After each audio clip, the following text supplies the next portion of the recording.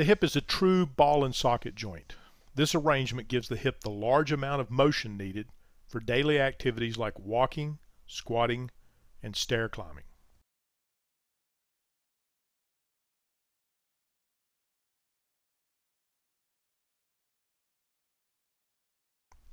Understanding how the different layers of the hip are arranged and connected can help you understand how the hip works, how it can be injured, and how challenging recovery can be when this joint is injured or damaged by arthritis. The deepest layer of the hip includes the bones and the joints. The next layer is made up of the ligaments of the joint capsule. And finally, these ligaments are covered by the important tendons and the muscles that help move the leg. The important structures of the hip can be divided into several categories. These include bones and joints, ligaments and tendons, muscles, nerves, blood vessels, and bursa.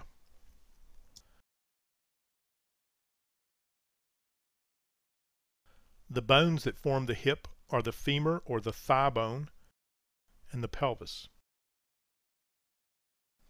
The top end of the femur is shaped like a ball. This ball is called the femoral head. The femoral head fits into a round socket on the side of the pelvis. This socket is called the acetabulum.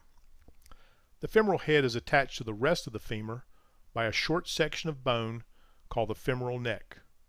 A large bump juts outward from the top of the femur next to the femoral neck.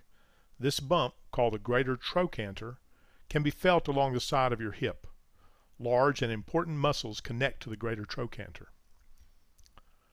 Articular cartilage is the material that covers the ends of the bones of any joint. Articular cartilage is about one quarter of an inch thick in the large weight-bearing joints like the hip. Articular cartilage is white and shiny and has a rubbery consistency. It is slippery, which allows the joint surfaces to slide against one another without causing any damage. The function of articular cartilage is to absorb shock and provide an extremely smooth surface to make motion easier. We have articular cartilage essentially everywhere that two bony surfaces move against one another or articulate. In the hip, articular cartilage covers the end of the femur and the socket portion of the acetabulum in the pelvis. The cartilage is especially thick in the upper and back part of the socket, as this is where most of the force occurs during walking and running. Ligaments are soft tissue structures that connect bones to bones. There are several important ligaments in and around the hip. Surrounding the hip joint, the joint capsule is formed by a group of strong ligaments that connect the top of the femur to the acetabulum. A joint capsule is a watertight sac that surrounds a joint. These ligaments of the joint capsule are the main source of stability for the hip. They help hold the femoral head in place in the acetabulum or socket. A small ligament connects the very tip of the femoral head to the acetabulum. This ligament, called the ligamentum teres, doesn't play a role in controlling hip movement like the main hip ligaments. It does, however, have a small artery within the ligament that brings a very small blood supply to part of the femoral head.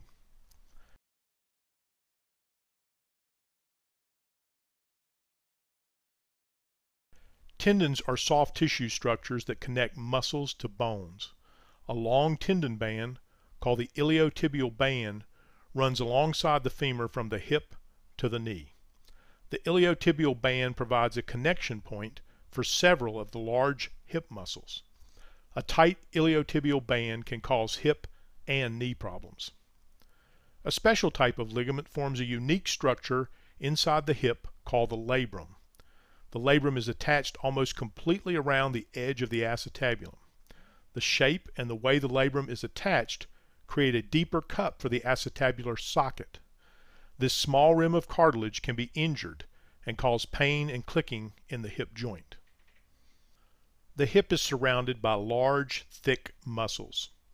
Three gluteal muscles, the gluteus minimus, gluteus medius, and gluteus maximus, make up the muscles of the buttock on the back of the hip. These muscles extend or pull the thigh backwards and abduct or pull the thigh away from the other leg. These muscles are also important for keeping the pelvis level as we shift the weight from one leg to the other during walking. The inner thigh is formed by the adductor muscles. The main action of the adductors is to pull the leg inward toward the other leg.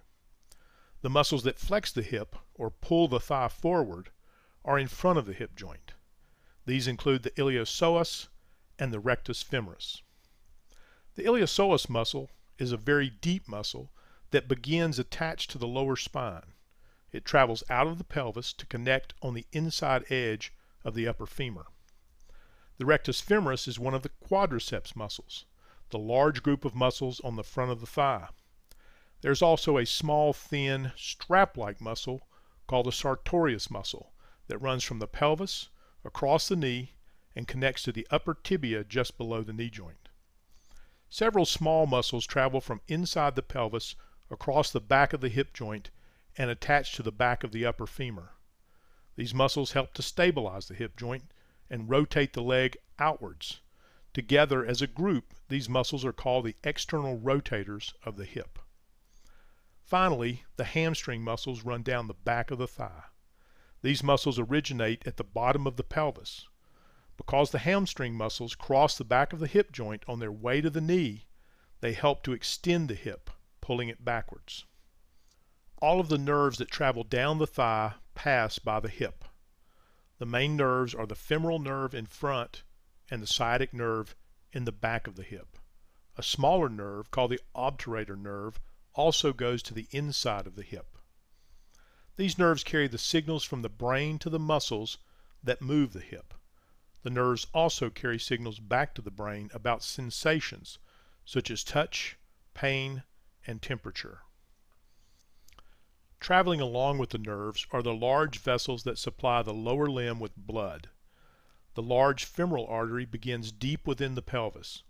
It passes by the front of the hip area and goes down toward the inner edge of the knee. If you place your hand on the front of your upper thigh, you may be able to feel the pulsing of this large artery. The femoral artery has a deep branch called the profunda femoris. Profunda means deep. The profunda femoris sends two vessels that go through the hip joint capsule. These vessels are the main blood supply for the femoral head. As mentioned earlier, the ligamentum teres contains a small blood vessel that gives a very small supply of blood to the top of the femoral head. Other small vessels form within the pelvis and supply the back portion of the buttocks and hip. Where friction occurs between muscles, tendons, and bones, there is usually a structure called a bursa. A bursa is a thin sac of tissue that contains fluid to lubricate the area and reduce friction. The bursa is a normal structure that is produced by the body in response to friction between two structures. A bursa that sometimes causes problems in the hip is sandwiched between the bump on the outer hip, the greater trochanter, and the muscles and tendons that cross over the bump. This bursa, called the greater trochanteric bursa, can become irritated and inflamed, causing a condition called trochanteric bursitis. Another bursa sits between the iliopsoas muscle and the hip joint where the iliopsoas tendon passes in front of the hip joint. When this bursa becomes inflamed, the condition is called iliopsoas bursitis.